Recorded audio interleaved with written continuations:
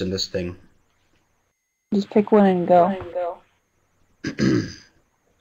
Ah, yes. Startled at the stillness broken by reply so aptly spoken, doubtless, said I, what it ut- utters is its only stock in store, caught from some unhappy master, whom unmerciful disaster followed fast and followed faster, till his song one burden bore, till the dirges of his hope that melancholy burden bore, of never, nevermore.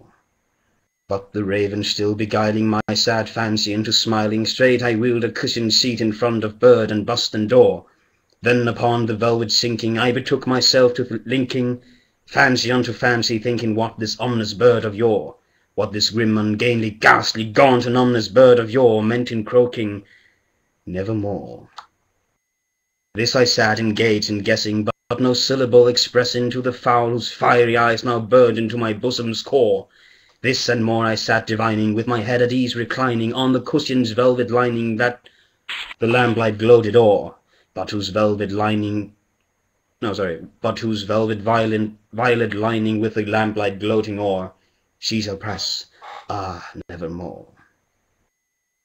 Then methought the air grew denser, perfumed from an urn, unseen censer, swung by seraphim whose footfalls tinkled on the tufted floor.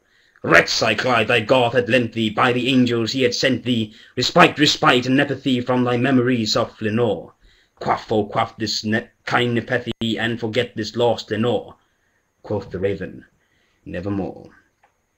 Prophet, said I, thing of evil, prophet still, if bird or devil, whether tempest sent, or whether tempest tossed thee here ashore, desolate, yet all undaunted, on this desert land enchanted, on this home by horror haunted, tell me truly, I implore, is there, is there balm in Gilead?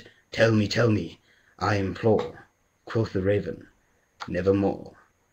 Prophet, said I, thing of evil, prophet still, if bird or devil, by that heaven that bends above us, by the God we both adore, tell this soul with sorrow laden, if the distant, if within the distant Aidenn it shall clasp the saint and maiden, whom the angels named Lenore, clasp a rare and radiant maiden, whom the angels named Lenore. Quoth the raven, nevermore. But that word, word our sign of parting, bird or fiend, I shriek, shrieked up starting. It's getting a bit dodgy here because no one ever lets me get this far. But two more.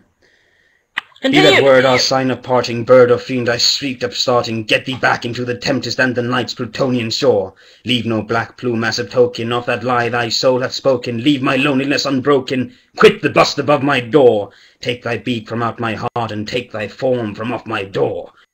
Quoth the raven, nevermore. And the raven, never flitting, still is sitting, still is sitting on the placid bust of Pallas just above my chamber door.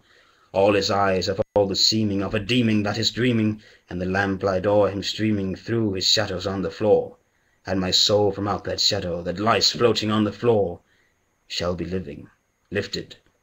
Ah, I blew the ending. Fuck! Shall be lifted nevermore. Fiend.